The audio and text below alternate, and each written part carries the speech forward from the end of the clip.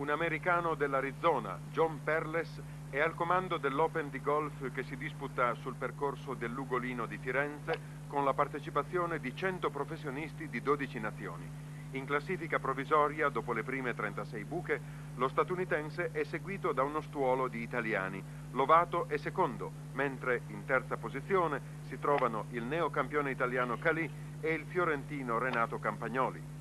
Baldovino Dassù, intramontabile, classicissimo rappresentante del golf toscano, oltiano, è ottavo a pari merito con Guerisoli e Corte.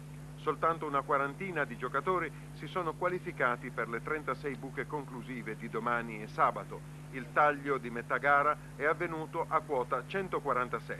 Il fiorentino Alessandro Pissilli, 72 colpi ieri e 72 oggi, ce l'ha fatta a qualificarsi con 144. Sono stati invece eliminati Mauro Ravinetto del Golf di Montecatini che ha totalizzato 152 colpi, Franco Rosi di Firenze con 156 e Gioe Messana di Tirrenia con 159.